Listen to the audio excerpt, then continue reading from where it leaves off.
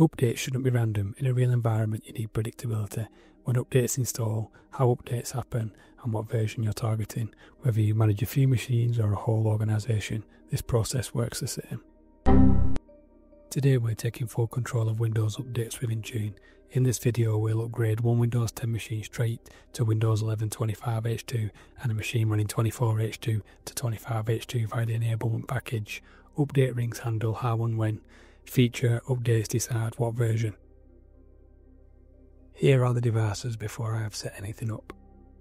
On my website I will have a full in-depth wrap-up of everything in this video. Check the link in the description and don't forget to subscribe. Before any update, policy works or reports cleanly, the device must send the right signals. I'm checking five things on screen. Comment on the video if you'd like a copy of the PowerShell script. I'm keeping the pilot small and device based, which obviously reports which machines are targeted.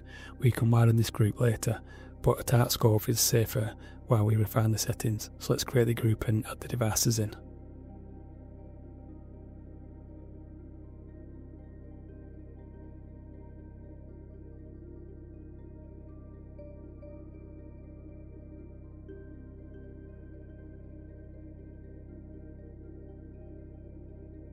In the Entra Admin Center, go to Roles and Admin and let's assign our user the Intune Administrator role.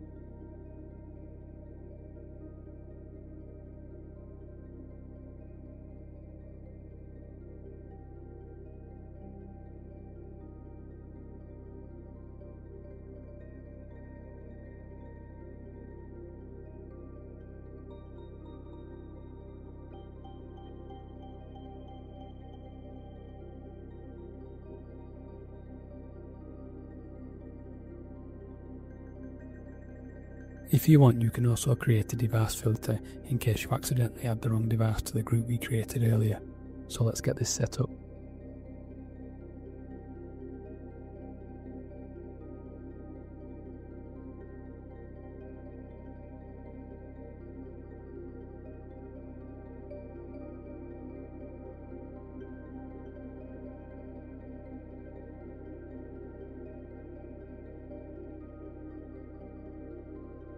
Here you can preview the results.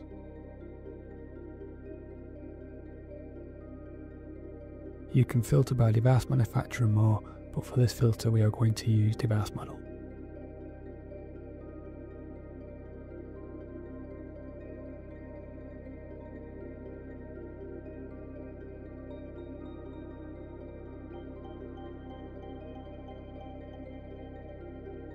We can also set up the Windows Health Monitoring. This enables the telemetry that powers the Windows Updates reports.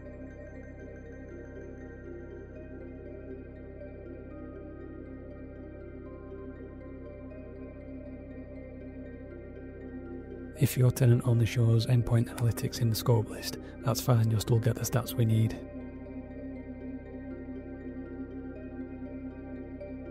As per Microsoft Learn for Windows updates.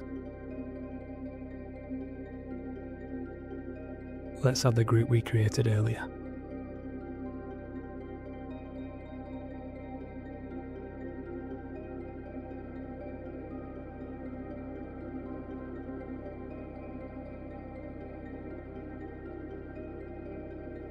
Let's create the update ring.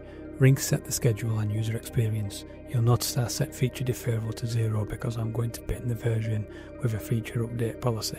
Deferrals can delay or conflict with pin versions, so zero keeps the behavior predictable.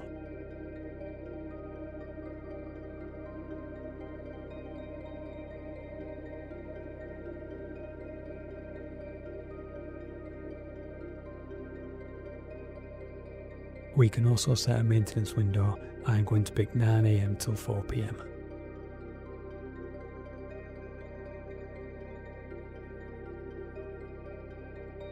You can also set the update behavior. I'm going to set auto install and reboot without end user control.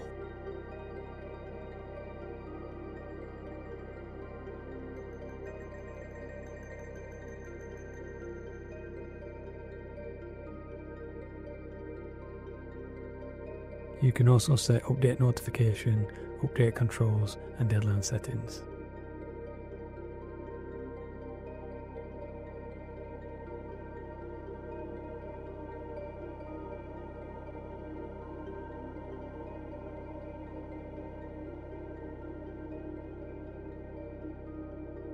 Let's add our group and filter we created earlier.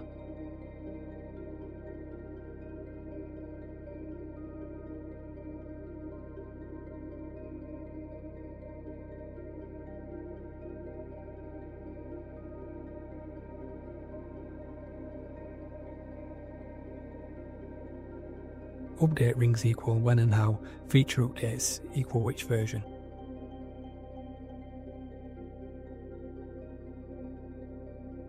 With the rings feature deferral set at 0, Windows follows this policy and moves both machines to 25H2.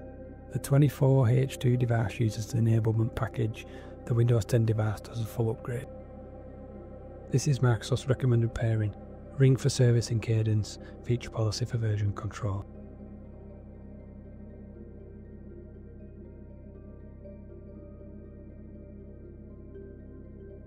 You can also set rollout options and pick a date.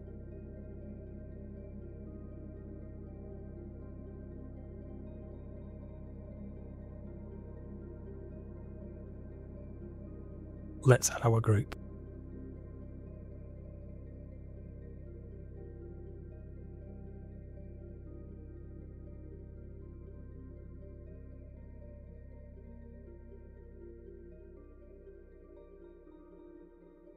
Now let's sync our devices to speed things up.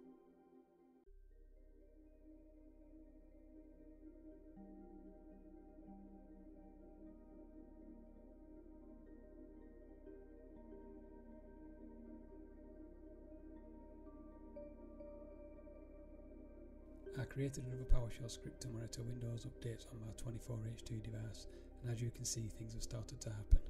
25H2 is starting to download as we are outside the maintenance window. Comment in the video if you want a copy of the PowerShell script.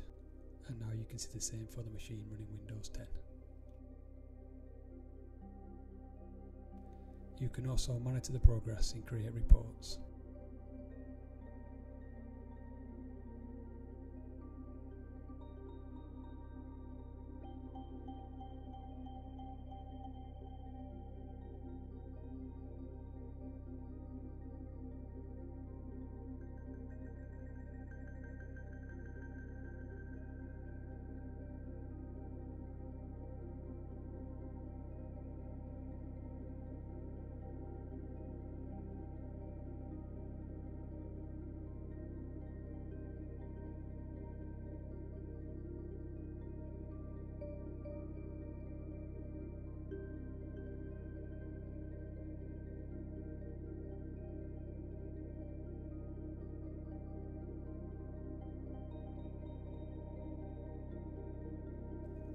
Thanks for watching and don't forget to subscribe.